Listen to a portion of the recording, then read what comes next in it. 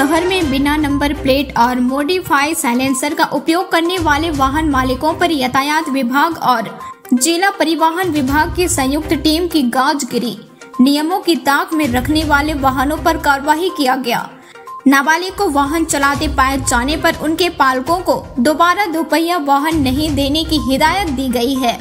यातायात विभाग और परिवहन विभाग की संयुक्त टीम से मिली जानकारी के अनुसार तेरह दोपहिया वाहन पर मोटर व्हीकल एक्ट के तहत कार्रवाई करते हुए चार हज़ार छह सौ रूपए समन शुल्क वसूला गया है।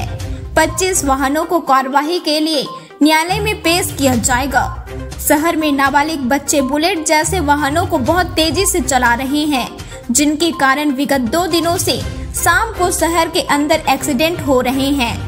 दो दिनों से लगातार एक्सीडेंट होने के कारण ही यातायात विभाग और परिवहन विभाग आज एक्शन मोड पर आकर कार्रवाई किया गया है।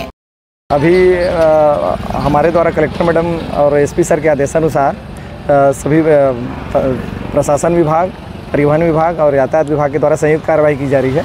इसमें नाबालिग बच्चे जो रश ड्राइविंग करते हैं और अमानक बुलेट जो साइलेंसर है उसको चलाकर बुलेट चलाते हैं। और बिना नंबर प्लेट के वाहन चलाते हैं उन पर कंटिन्यू कार्रवाई की जा रही है और साथ ही साथ यातायात के नियमों का पालन करने हेतु सबको हिदायत दिया जा रहा है। अभी तक लगभग कितनी कार्रवाई हुई अभी तक हमने 25 कार्रवाइयाँ कुल अभी कर दी हैं और अभी कार्रवाई लगातार जारी है। कुछ लोग देखे कि बिना नंबर प्लेट के घूम रहे हैं कुछ लोग जो है यातायात नियमों का पालन नहीं कर रहे हैं। क्या समझाई दे रहे हैं?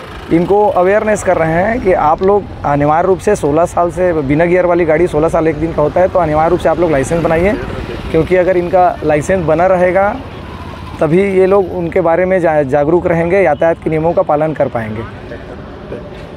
नाबालिग बच्चे लोग गाड़ी चला रहे हैं रैश ड्राइविंग कर रहे हैं ओवर स्पीडिंग है ना? और जो दस्तावेज़ नहीं है बिना लाइसेंस के सब गाड़ी चला रहे हैं तो उसके ऊपर आज कार्रवाई चल रही है। इसके अलावा अभी तक कैसे जो लोग आए हैं वो क्या क्या प्रतिक्रिया दे रहे हैं? ये- हैं, क्यों पालन नहीं कर रहे? हैं हाँ बहुत सारे लोग को क्या है जानकारी नहीं है। जैसे लाइसेंस कई लोगों के पास नहीं है कई लोग नाबालिग बच्चे लोग गाड़ी चला रहे हैं। तो उनके पेरेंट्स से भी कई लोग फ़ोन में बात करा रहे हैं। हम उनको बुला के समझाइश देंगे।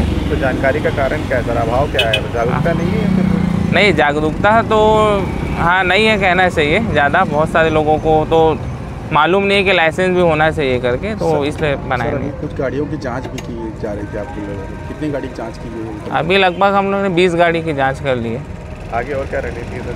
आगे बस ऐसे ही मतलब समय समय पर जाँच होगी। सर क्या प्रशासन एक्शन मोड में है क्या? हाँ।